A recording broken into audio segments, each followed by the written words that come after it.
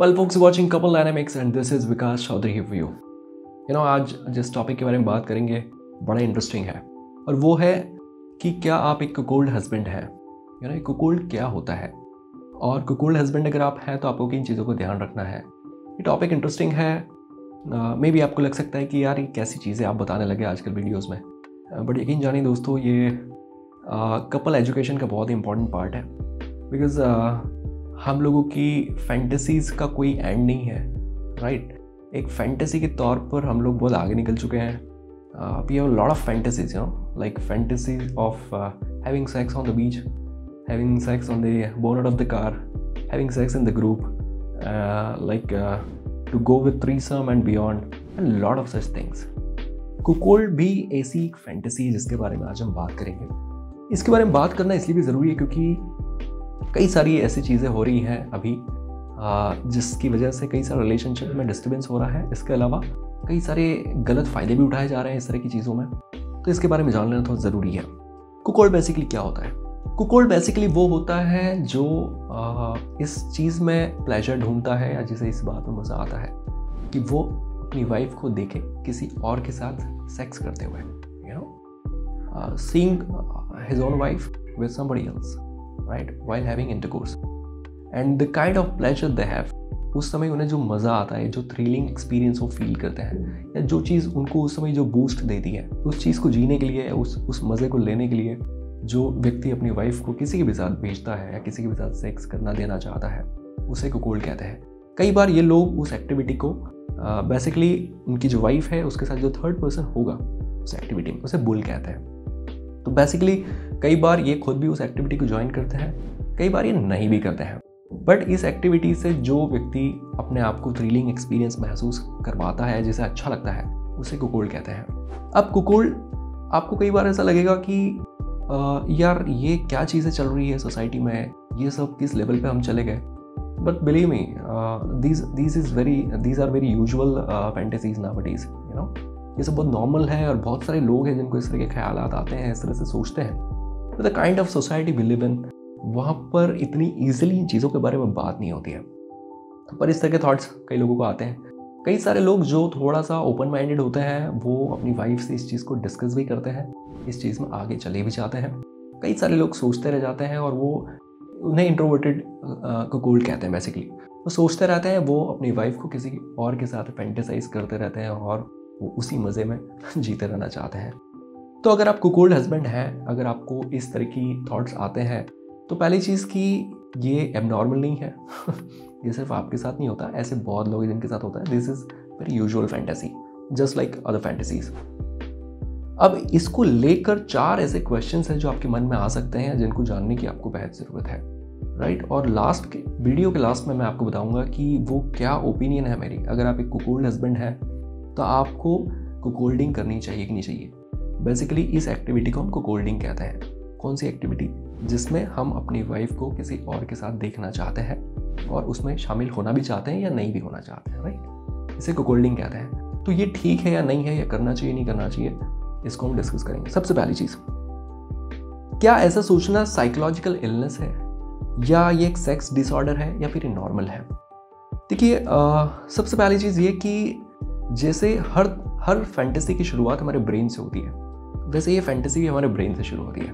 इसमें एबनॉर्मल कुछ भी नहीं है। ये कई लोग हैं जो इस फैंटेसी को फील करते हैं और उनको ये चीज़ थ्रिलिंग यू नो प्रोवाइड करता है। So this is very normal ये कोई सेक्स डिसऑर्डर नहीं है। बट अगर आप इसके बारे में सोचना बंद कर दें, इसके बारे में दिमाग लगाना बंद कर दें तो ये ख़त्म हो जाएगी। अगर आप इसको सोचते रहेंगे तो इसके, इसको लेकर आपकी डेस्परेशन जो है, वो बढ़ती रहेंगी।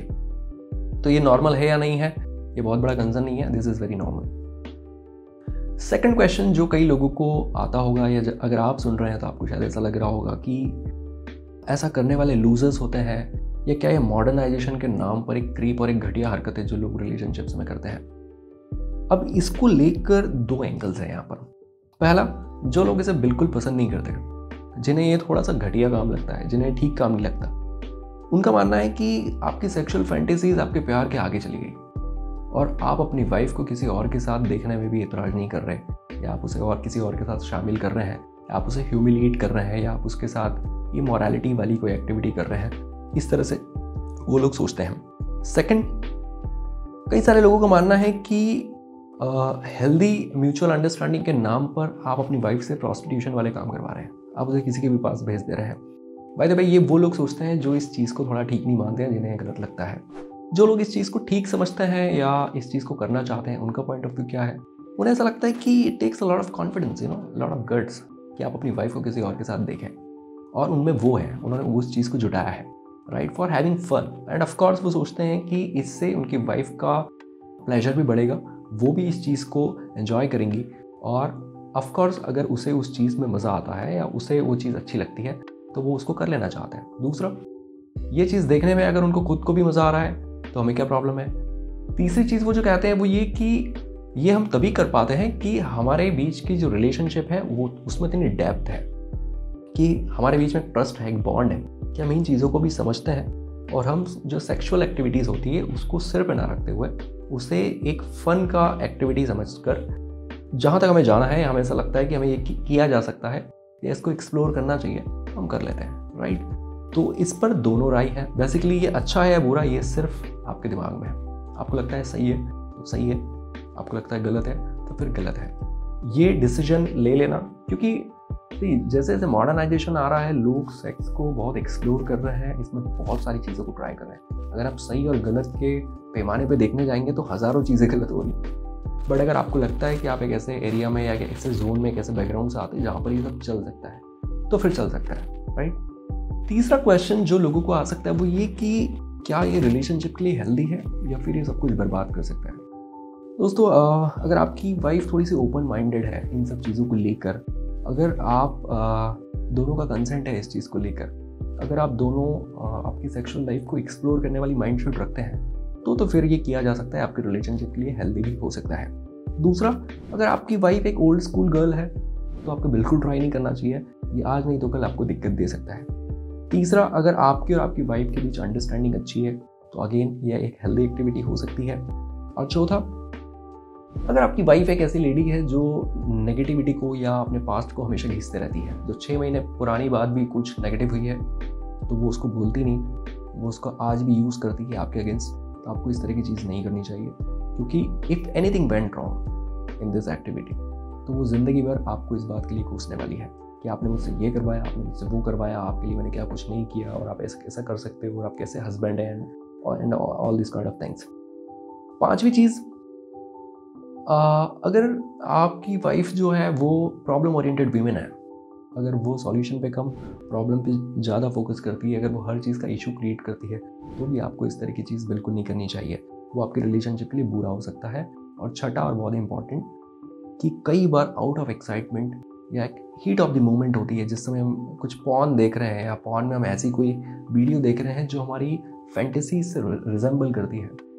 तो उस मोमेंट पर कई बार हम अपनी वाइफ से इस तरह की चीज़ें शेयर कर लेते हैं कि हम भी ऐसा करना चाहते हैं या क्या हम ऐसा करें। आउट ऑफ़ दैट एक्साइटमेंट कई बार हम उस चीज़ के लिए इनिशिएट कर देते हैं, हम आगे बढ़ जाते हैं। और बाद में कई बार ऐसा होता है कि यार वो ना ही होता तो अच्छा रहता या किसी भी तरह का रिग्रेट रह जाता है। तो आउट ऑफ़ एक्साइटमेंट आपको डिसीज़न ना लें। पेशेंस रखें। अगर आपको ठीक लग रहा है कि हाँ you are okay with everything तो फिर आप इस तरह की चीज़ें ट्राई कर सकते हैं।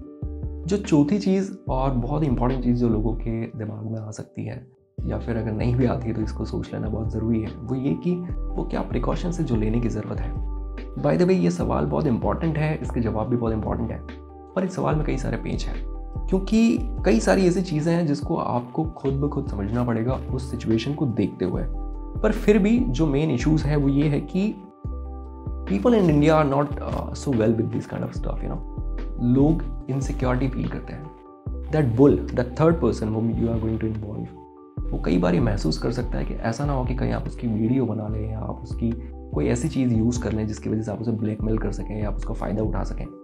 Right right? और ये इनसिक्योरिटी उसको भी होगी, ये इनसिक्योरिटी आपको भी होगी। And out of that insecurity हम थोड़ा सा safe for a safer side हम कोई ना कोई ऐसी चीज़ करते हैं कि हमने कोई चैटिंग संभाल के रखी है या कोई रिकॉर्डिंग कर ली है या हमने कोई वीडियो बना ली है।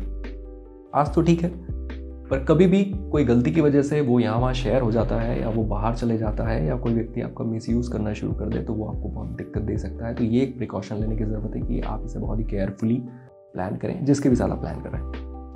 दूसरी चीज़ की जब आप अपनी वाइफ को इस चीज़ के लिए कन्विंस कर रहे हैं तो कहीं ये ना हो जाए कि आपकी वाइफ क्योंकि ओल्ड स्कूल थिंकिंग की है, उसे ये सब चीज़ें बिल्कुल ठीक नहीं लगती, उसे बहुत गंदा और भद्दी चीज़ें लगती है।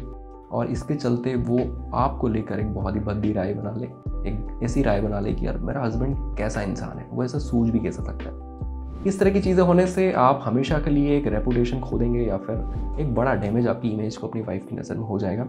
एक प्रिकॉशन ये लेना भी ज़रूरी है कि वो कैसा सोचती इन चीज़ों के बारे में। तीसरी चीज़ इंडिया में हर चीज़ इन कैश होती है। अगर कोई भी गलत फ़ायदा उस थर्ड पर्सन ने उठा लिया तो वो आपसे, आपको ब्लैकमेल कर सकता है। इसके बहाने आपसे पता नहीं क्या क्या करवा सकता है। चौथी चीज़ की अगर आप फिर भी इस एक्टिविटी में जाना चाहते हैं तो कोशिश करिए आप ऐसे व्यक्ति को इन्वॉल्व करें जो आपके कॉन्टेक्ट में नहीं है। यू नो अगर आपकी जान पहचान में है, आपके दोस्तों में है तो ये बहुत एम्बेरसिंग बाद में हो सकता है या ये थोड़ा सा प्रॉब्लम दे सकता है फ्यूचर में। अगर ऐसा व्यक्ति, जिसे आप जानते ही नहीं, कोई बाहर का है तो फिर भी ठीक है। पांचवी चीज़ की मेडिकल हिस्ट्री अगर सामने वाले की आपको पता नहीं है तो थोड़ा सा केयरफुल रहने की ज़रूरत है। कई सारी ऐसी बीमारियाँ जो सेक्सुअल इंटरकोर्स या इस तरह की चीज़ें होने की वजह से फैलती है तो उसको लेकर कहीं आप दोनों हस्बैंड वाइफ किसी चपेट में ना आ जाए। और पांचवी चीज़ की अच्छा होगा अगर आप एब्रॉड जाएँ और प्रोफेशनल्स की हेल्प लें या फिर ऐसे लोगों को यूज़ करें, जो इन कामों के लिए ही हैं अवेलेबल और आप अपनी ज़िंदगी को वहाँ जाकर एक्सप्लोर कीजिए, वहाँ सारे मज़े कीजिए और वापस अपनी पुरानी दुनिया में लौट आइए और सारी चीज़ों को ठीक कर लीजिए। ये चीज़ भी की जा सकती है।